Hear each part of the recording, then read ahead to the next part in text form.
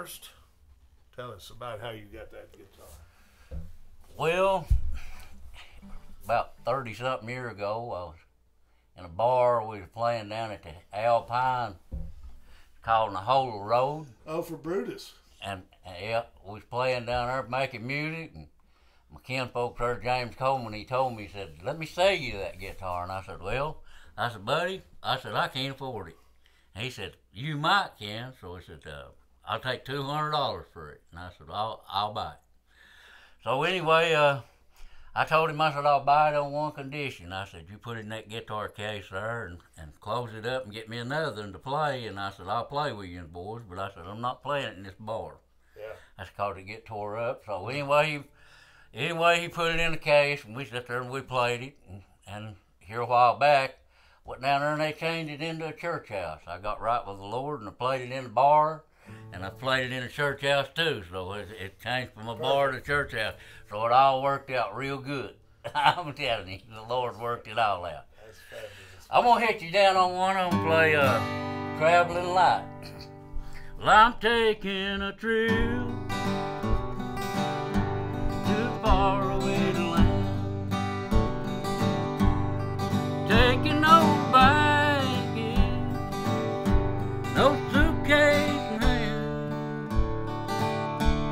I'm going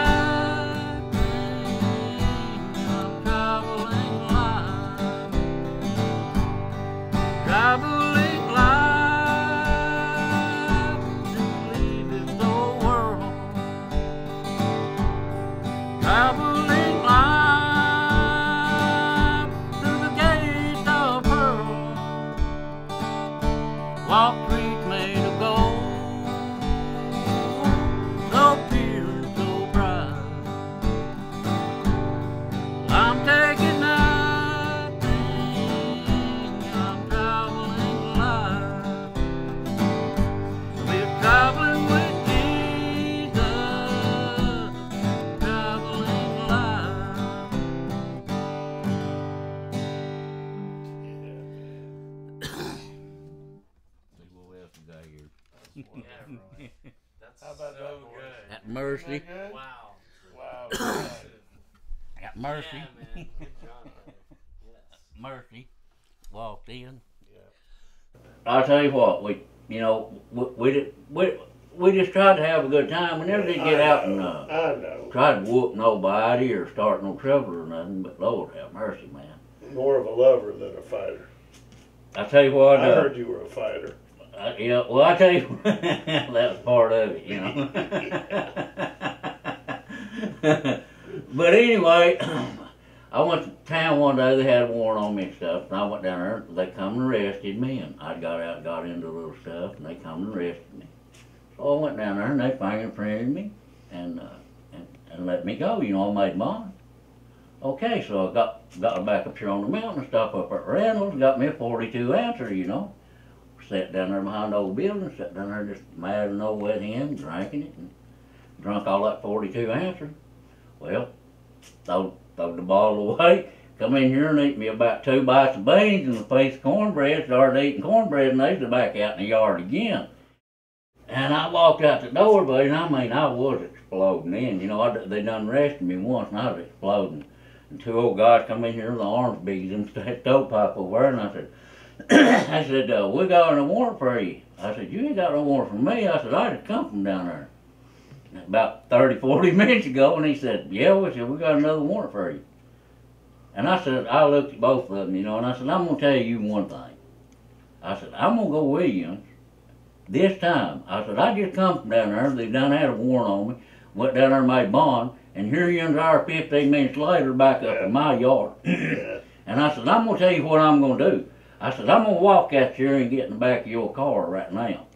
But I said, the next time, if you come off over this hill right here, and, and me just come from down there with a warrant on me, I said, they're going to be the awfulest bloodbath on 244 Tage Lane that you have ever seen in your life. And buddy, that, that, that was my You life haven't trip. been back, have That's you? the last trip to jail right there. You just have to talk to them in a rational manner. It took three of them to carry my guns out of here. And I bet they didn't get them all. no, they didn't. But that's been, that's the old Roy. yeah, yeah, You're the new, you're a better boy Yeah. now. yeah. This sounds something just about like me. Stood in the courtroom, the judge turned my way. Looked like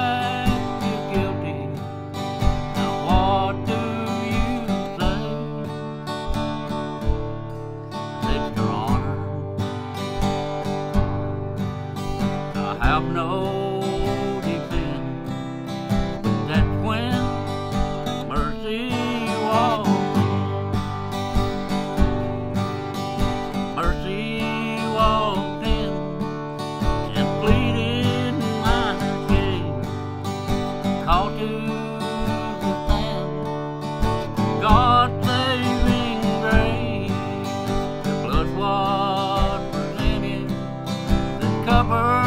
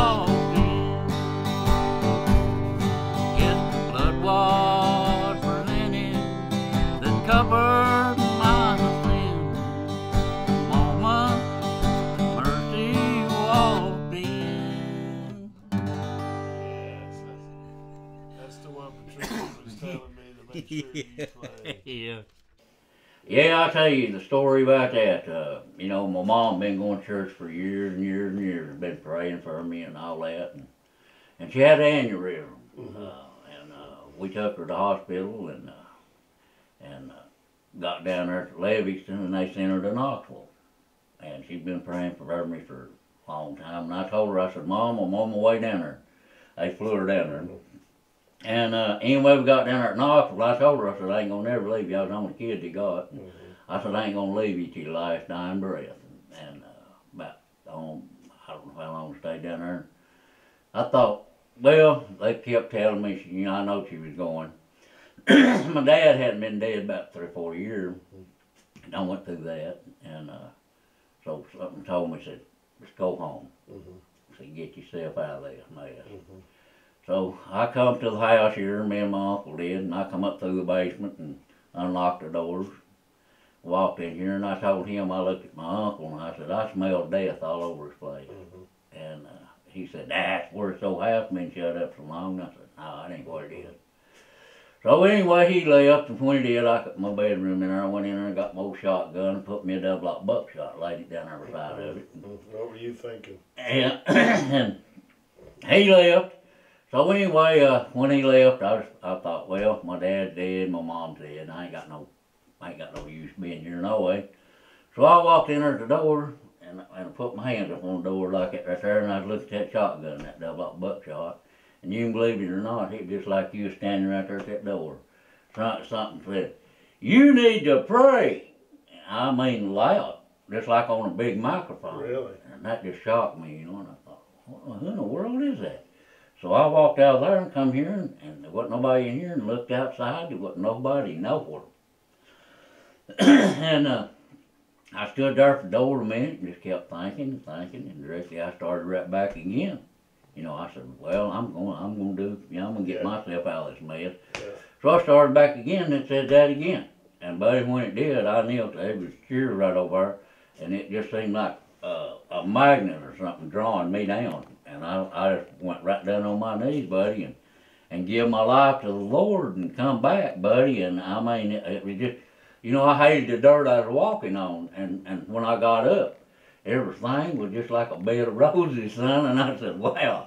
if I know it'd been like this, I'd been this way a long time ago. Well, I looked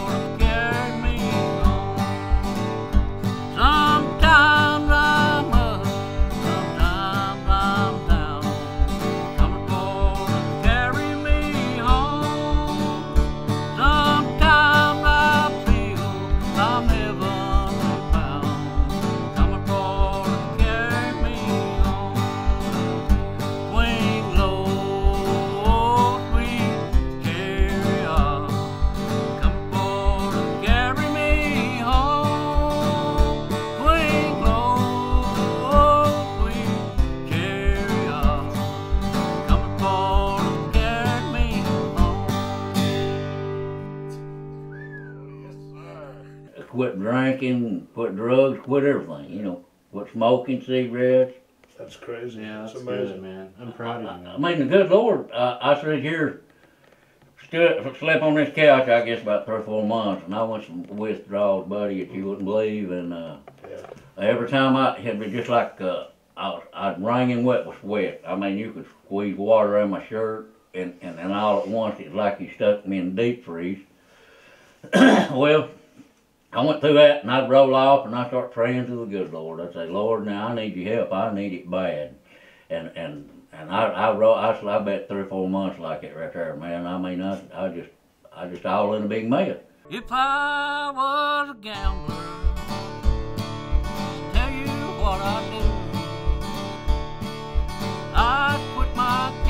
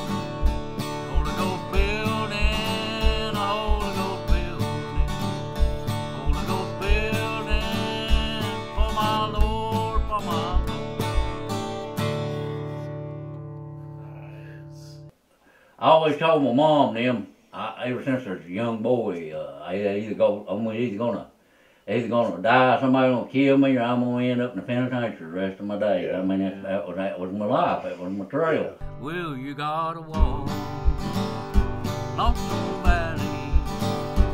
You gotta go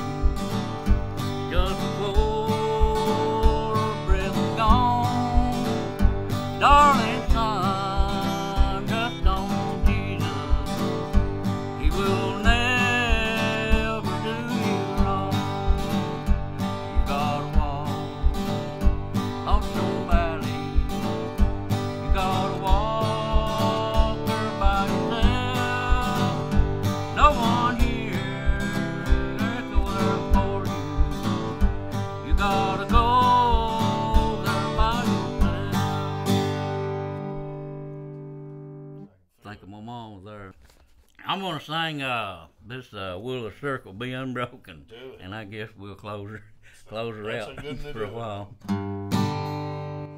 Well, I was standing by my window.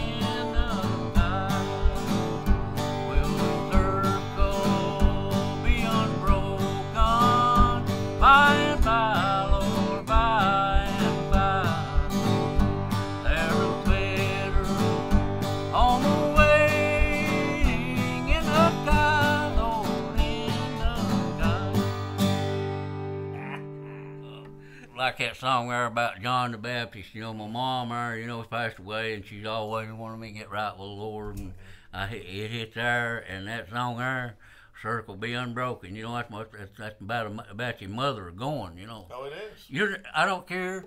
I don't care who it is. If if if somebody's here and say your mama's gonna go in five minutes, you're never prepared.